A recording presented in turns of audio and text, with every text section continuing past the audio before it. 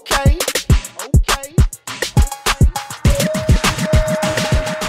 Hey guys, welcome back to my channel. Today we're going to be doing an updated morning skincare routine for cystic acne. I'm going to be using the Neutrogena Rapid Clear Stubborn Acne Wash. I'm also going to be using um, the Rose Hip Seed Oil.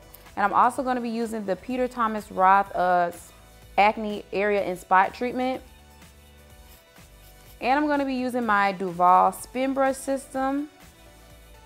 And speaking of the Duvolle uh, skincare system or spin brush skincare system, I received this as a um, item to try and I've been using it for a couple weeks now and I really like it. It comes with your cleansing brush.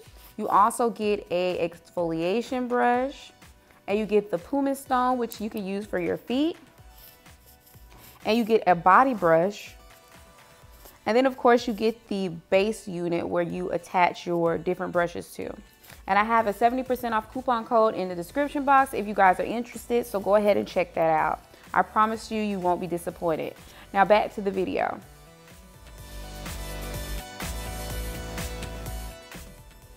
All right, so now we're gonna go ahead and get into the skin skincare system. You're gonna need a um, washcloth as well. And what I'm gonna do now is I'm gonna go ahead and wet my face and apply my Neutrogena um, Rapid Clear Wash for Stubborn Acne. And I've been using this um, acne wash for a while and it's really helpful if you have cystic acne because you guys know cystic acne is no joke. And so this definitely helps in getting those stubborn bumps up. So I have applied my um, wash. Now I'm gonna go in with my Duvolle spin brush and I'm gonna be using the cleansing brush.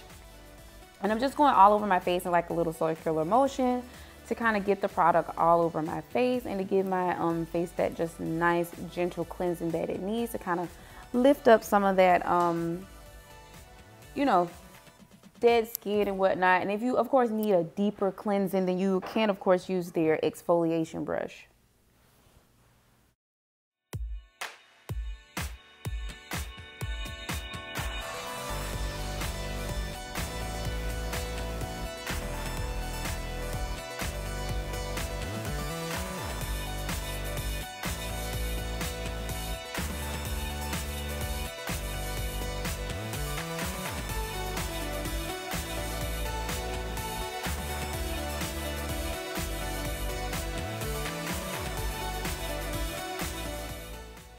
All right, so now we're gonna go ahead and rinse off our cleanser. Um, and then this is where the washcloth that I showed you guys earlier is going to come into play.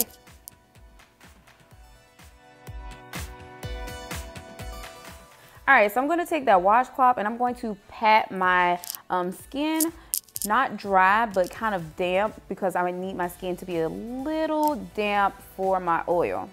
And never rub your face because it irritates your skin. So I always pat my skin dry. And like I said, I'm leaving my skin a little damp because it helps the oil to absorb my skin better. So now I'm gonna go in with a drop of the rose hip seed oil. And then I'm going to also pat the oil into my skin as well. I never rub oil into my face. I just give it a nice pat and I pat it all over my skin. And I also put it in my eyebrows and that helps to keep my eyebrows nice and moisturized and helps them to stay nice and thick.